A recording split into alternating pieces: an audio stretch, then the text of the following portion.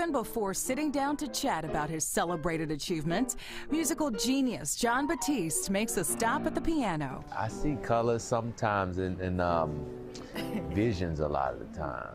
see visions. It's crazy the stories that I've come across. I have to start off with the first big thing, the big news here. Um, you were recently added to the illustrious cast of the Color Purple film adaptation of the 2005 musical. That's right. That's How right. How did that come about? What was that phone call? And is this your first? Is this your acting debut? Yes, I've I've done a few of Spike Lee's films mm -hmm. and a few um, amazing things, but this is my first feature film acting debut in a supporting role as Grady in The Color Purple. Quincy mm-hmm. Jones called me. He was mm. he helped me with the We Are album, and he really has been a mentor for me for the last decade. And uh, he's someone who, you know, he's had his hand in so many things, including the original Color Purple. Coming around this time, he really wanted someone who could play this role, but also even incorporate some of his music in the uh, in the soundtrack. So he gave me a call and he was like, "Man, would you do this? I, I would be honored to have you." And I was like, I'd be honored to do it. He'll be joining a star-studded cast that includes Danielle Brooks and Taraji P. Henson. You know, it's it's canon for American culture, for Black America. Is is our canon of, of stories that each generation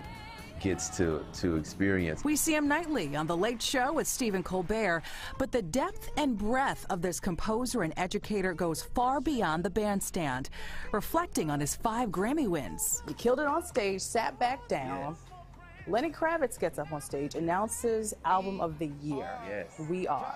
It was more of a, um, a feeling of affirmation that we made all of the right decisions because I didn't not think we could win. It was more that I thought, you know, along this process, we did so much that was against the algorithm. It wasn't that we didn't think we could win. It was just this feeling of, wow, that's really the power of, of, trusting yourself and knowing that you are enough. And even before winning those five statuettes came one great big statue called Oscar for Best Score in the animated movie Soul, featuring Pixar's first ever African American lead whether it's the pandemic, whether it was the social unrest, the political unrest, all of the different ways that things were fraying at the edges. And the film really spoke to the, the deeper question, the things that transcend all of that. And, and, I think that connected the people of all ages at a time when we really needed it. He arranged, composed, and performed songs for the song track, bringing to life a remarkable story narrated with the sounds of modern jazz. And it also is it has a legacy of putting this incredible music of jazz and this sound, this this celestial, transcendent feeling into the world. And I love that kind of a thing because it's healing. You know, it's healing and it's educational at the same time as it's entertaining. It's also the same time he wrote Album of the Year. That was what's really cool about both We Are and Soul because they both were created at the same time. You know, I, I made the We Are album the same time as I was doing the score for Soul with Trent Atticus. And those projects are like brother and sister to me. It's funny how they've resonated in the world in very similar ways. And music is never far from his imagination. I get inspired by moments. I get inspired by people. I get inspired by, uh, I love meeting people. I love going to places. I love the creative process of experiencing life and translating that into music. I remember I had a moment with Andrea Bocelli at Madison Square Garden in December, and I was a guest of, on, on his show singing with him, and I'm still getting inspired by that that moment. He was also inspired to compose a new symphony that's been four years in the making. It debuts at Carnegie Hall in May. As you said, it's it's the sound is unlike anything you've ever heard. The theme on the symphony is uh